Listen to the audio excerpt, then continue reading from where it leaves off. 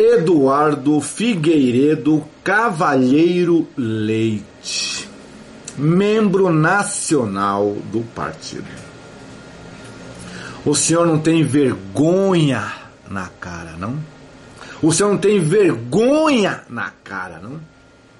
Deixar o presidente Aécio Neves flagrado, gravado, preso e afastado pelo partido, mandar no partido? Pede para sair. Pede para sair. Se não fizer, o senhor é tão bandido quanto o seu presidente.